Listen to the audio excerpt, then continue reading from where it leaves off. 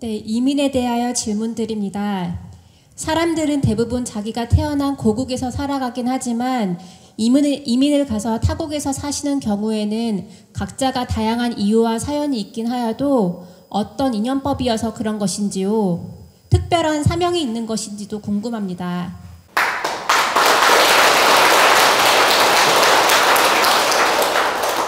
이민을 좋아하거나 이민 가서 사는 이유는 두 가지 이유가 있습니다.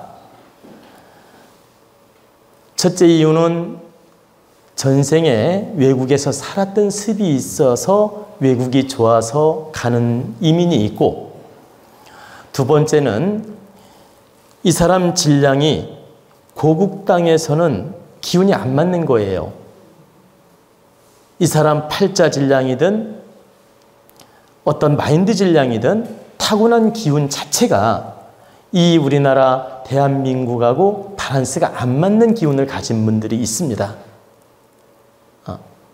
하나 예컨대 사주 기운이 많이 많이 편중되면서 이렇게 뭐 금기운으로 강하다든가 예를 들면 어 그리고 이제 막 물기운으로 편중돼 가지고 이 이렇게 외국 따뜻한 나라 있지. 이런 나라가 더 잘 맞는 사람들이 있습니다. 음.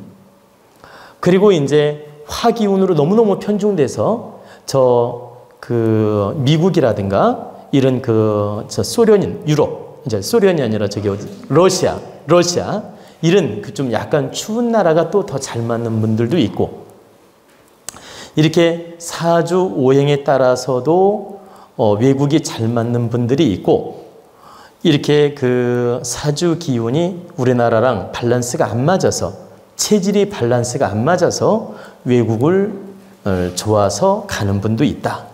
아.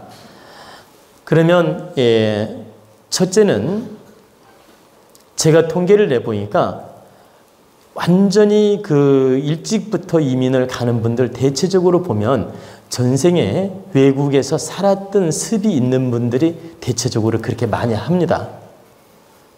어, 그리고 좀 전에 말씀드린 대로 사주 기운이 우리나라랑 바란스가 안 맞아서 어, 이렇게 부닥치니까 외국이 편하고 부닥치다 보니까 외국을 선택해서 이민 가는 경우가 있다. 이 두 가지 경우가 있다는 뜻입니다.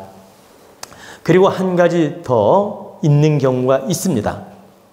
대체적으로 이 두 가지에 속하고 가끔은 이 세 번째 경우가 있는데 에, 사업 실패하고 여기서 이것저것 해보니까 망가지고 어? 이것저것 해보니까 다 어려워지고 이곳에서 뿌리를 받고 살자니 막막한 거예요. 그래서 이도저도 안 되니까 차라리 외국 가가지고 그냥 어떤 일이든 하면서 살아보자. 어? 쫓겨가는 심정으로 가는 분도 있다는 얘기입니다. 어. 우리 고국 땅에서 어떤 방법도 찾지를 못하니까 외국에 가면 찾을까 싶어서 쫓겨가는 심정으로 가는 경우도 있다는 얘기입니다. 아시겠죠?